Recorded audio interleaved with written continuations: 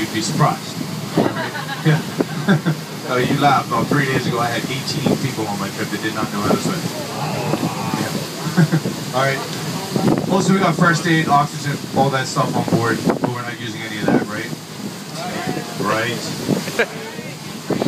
Right. Wrong. All right. cool. Well, that does it for the boat, guys. Does anybody have any questions? Anything you want to know about the island? Anything at all? Yeah, where does the Bermuda Triangle technically? What's that? I said, where does the Bermuda Triangle technically start? Where does the triangle start? Yeah, where does it technically start? Where does the Bermuda Triangle technically start? All right, now, Bermuda. Yeah. All right. I see that island on to the side of the boat. That island sticking out there. Yeah. All right. That's actually the northern tip of the triangle. All right. It's called the Devil's Head Island. It goes from there over to Miami, Florida, and it's over to San Juan, Puerto Rico. So it's actually well over a million square miles of open ocean. All right. So it's not just some small body of water here in Bermuda. All right. Any other questions? How deep is the water where we're going to be snorkeling? Uh, it's going to be between about 15 and 25 feet for the most part. All right, there's nowhere out here that you guys are going to be able to stand. All right. Yeah. Um, I'll tell you all about the wrecks and stuff like that when we get a little closer. That way it's fresh in your mind when you're jumping aboard. Because I tell you about them now, you're all going to ask me again when we get there. I already say the same thing about 10 times a day, so. Any other questions? It's like a tube. Are there, are there any, Oh, yeah. Do we get paid to do this? Surely not doing it for free. yeah.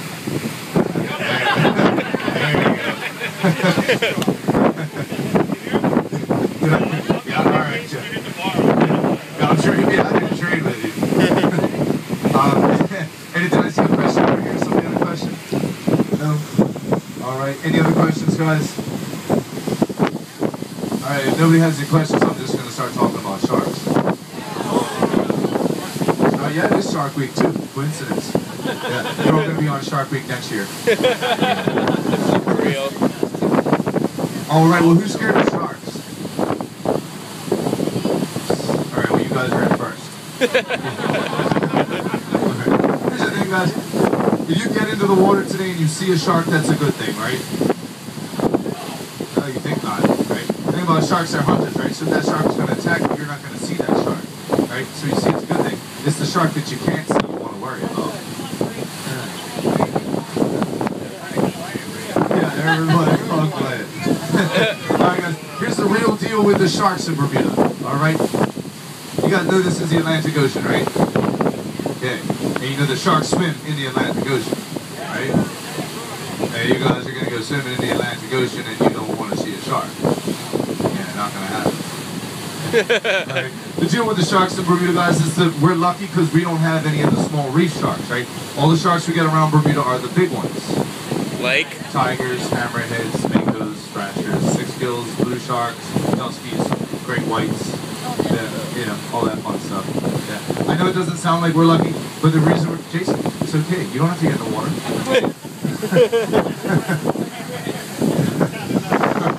yeah, I know it doesn't sound like we're lucky, guys, but the reason we are lucky is because all these sharks that I'm talking about, they're what we call a pelagic species of shark. Right? These sharks all live in the open ocean. Bermuda's surrounded by almost 200 miles of coral reef. Right? This reef acts not only as a physical barrier, but more of an ecological barrier. All right, all these sharks I'm talking about, they feed on fish like tuna, wahoo, marlin, dolphin, all the pelagic species of fish. These fish don't come inside of the reef line, so neither do the sharks. Right? I can take you about nine miles out that way and put you in knee-deep water right on top of the coral reef. All right, very shallow reef system. These sharks don't come inside of the reef to feed. All right, I mean I can't guarantee you that you're not going to see a shark. All right, I've been Bermuda my whole life. I'm on the water every day. I've only ever seen two sharks inside of the reef line ever. All right, they were just little juvenile sharks. Get some of larger sharks from time to time, but they're popping up inside of the reef system after like a, bad storm or a hurricane or something like that. And sometimes they get a little disoriented, come up inside the reef line. But um, they're not inside the feed. Sometimes also if they're feeling a little sick, when they're about to die, they'll come up inside the reef line so they don't have to worry about any predators. But you guys really don't need to worry about sharks today. It's like a 99.9% chance that you're not going to be seeing a shark. All right? All right. Cool. Yay. All right. Do me a favor then if you do see a shark, don't yell shark. you think a shark attack's only trying to watch 40 people climbing up on the back of the boat at the same time. That gets up there, kicking and scratching and biting. Alright, yeah. So, like I said, you're not likely to see them today though, guys. We only ever had one recorded shark attack in Bermuda. Alright, it was back in the 60s by a nurse shark, alright? Nurse sharks are said to be the most docile shark in the ocean. Apparently you can pat them like a dog, but you just can't ride them like a horse. I tried to mount the shark, the shark turned around and bit him. Alright, don't blame the shark. Alright, yeah, so rule of thumb out here, guys, don't try and mount anything. Yeah, alright, this doesn't include other snorkelers. Chance they'll turn around and attack, okay? Anything else you guys might be scared about here? Yeah, you're all good with like barracudas and jellyfish and stuff like that. Is there anything poisonous in the water? Anything poisonous in the water? Um, yeah, we do have a fish here. Um, it's, it's not a it's not an endemic fish. It's an invasive species, but we do have the lionfish here. Are you guys to know the lionfish? That big brown one. That was big. All right, it's only started moving into Bermuda in the last like five or six years. All right, so traditionally a South Pacific fish, but very invasive here, so they're starting to take over. All right. Um, they usually hang out down near the bottom, uh, usually near the mouth of caves and stuff like that. Very beautiful fish. If you guys see this fish today, do not go anywhere near it. All right, it's got big spines on the top of it, deliver a very serious toxin. If you get stung by this guy, you're going to be going to the hospital. Believe me, it happened to me about a year ago. It's very, very painful. All right, well, get, come back to the boat or yell at the boat, let us know, so we can jump in the water and kill it. No, we don't want to. Actually, they're very, very dangerous to the reef system because they're not endemic here. They've actually, there's no predators here that feed on them, and they feed mostly on juvenile fish. They did an experiment with one at the aquarium. They caught one, put it in a tank. The thing actually ate itself to death. All right, they don't have that reflex where they stop eating. So they're saying one lionfish within five weeks can exhaust up to 80% of the juvenile fish in one reef. One lionfish within five weeks. So very, very um, harmful to the reef system. So we're doing everything we can here to try and get rid of them, but they're actually very difficult to catch. They're actually snaring them is the best way to do it. But they hang up mostly in the deep water here. So very tricky to catch. All right. Um, but other than that, there's nothing really poisonous out here. All right. Um, we do have barracudas out here. Those are the other ones that tend to freak people out because we don't have sharks inside. We find the barracuda is the apex predator on the reef. All right, so there's a good chance you're actually going to get to see a barracuda today. Uh, I know you've all heard the myth that they like shiny objects like jewelry and stuff like that. Not really a myth, but this happens more in places like Florida, Mexico, where the water's a lot more murky than it is here. They'll mistake your jewelry for a piece of bait fish. They'll attack it. All right, here they're going to see your five to six foot body attached to that piece of jewelry. They're going to leave you alone. All right, you don't want to rule in the ocean if you're bigger than it. Don't worry about it. All right, see like an eight foot barracuda. Eh. Might wanna get up. But again, inside of the reef, you don't really get those larger barracudas. All those big, huge, like six, eight foot barracudas are going to be out about 30 fathoms of water, right? Way out. So, yeah, it was something about Yes. five. Yeah, predators. Yeah. So barracudas are guys. Sometimes they'll sit there and they'll chomp their jaws at you. All right. That's not them trying to intimidate you or anything like that. That's just them trying to pass colder water over their gills, trying to keep cool. All right. So that's not them trying to intimidate you. If you see a barracuda, you don't want it hanging out, swim right towards it, make as much noise as possible. It's gonna take off, and then two minutes later, when you look behind you, he's gonna be sitting right there again. all right. So just make friends with him. He's not coming anywhere. All right. But he's not gonna hurt you. All right. Um, jellyfish. I will warn you about jellyfish, guys, because we do have a few in the area right now. First one, there's a lot of them out here the last couple of days and this morning. It's called the moon jellyfish. All right, range anywhere from like the size of a quarter up to like the size of a dinner plate. All right, it's a circular jellyfish, got a purple flower shape in the middle of it. All right, um, it's not so much of a sting as it is more like an itch or an irritation. If you have sensitive skin, it can irritate you quite a bit, sting a little. It's not anything seriously dangerous, but I do recommend that you guys avoid them. All right. Thing about them, their tentacles don't extend past their body, so you do actually have to swim right into them. All right. They move about this fast. yeah.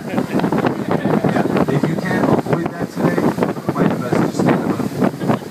Remember, there are quite a few of them out here, so I will warn you guys, alright? Now, the other one that we get right around now is the thimble or the comb jellyfish. It's about this big, looks like a little bubble in the water. Right? Um, absolutely harmless. You can pick them up there and make others stick them out to the bathing suits. Might want to drop it down the snorkels. Yeah, stay away Now, check out. You get right up to got little iridescent lights that light up all around the outside of them and stuff like that. They are harmless. They actually feed on little phytoplankton. They're 98% water, 2% minerals and protein. Their stinging cells are not strong enough to harm a human, so you really don't need to worry about them. Third one we get around Bermuda, but I haven't seen one for a month or two. All right, the past season point is the Portuguese man of war. All right, not likely that you're going to see one today, but sometimes there are a few stragglers that beyond what happens. They come past in the spring, right, heading north looking for the colder water, right. Looks like a bubble, floats on the surface, it's pink and purple and blue. It's actually a very beautiful creature, got blue tentacles that hang off underneath it. You see this today, stay well away from it. Alright, this guy hurts a lot. It's actually the sixth deadliest animal in the ocean. Alright, it's also one of the longest creatures in the world. It extends its tentacles up to about 160 feet in length, depending on the depth of water that they're in. We're not going to be snorkeling around in 160 feet of water today, so they're not going to have all those tentacles out, right? But very dangerous, right? If you do get stung, you know how you treat it? Pee on it. Yeah, you pee on it. Alright. Guys are giving me some disgusting looks, but I promise if you got stung by the man of war today, you're gonna be running around this boat begging people to pee on you. Alright? it hurts a lot. Just, guys, we have vinegar on board, it's the next best thing. She won't be peeing on anybody, alright? Unless you want it. That's up to you. we have vinegar on board, guys, so we'll use that. Alright. Um, other than that, was that? yeah, that does it. Alright, any questions before I go on?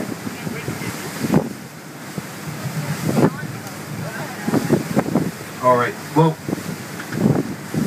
other than that, guys, there's really nothing else you need to worry about out here except for the actual coral reef itself. Alright, all the coral here in Bermuda, it will cut you, sting you, or burn you in one way or another. Alright, I'm not going to tell you guys which ones do which, and that's because I don't want you touching any of them. Alright, the reason I don't want you touching any of them is because they're all protected. Alright, it is against the law here in Bermuda to touch, take, or break any of the coral.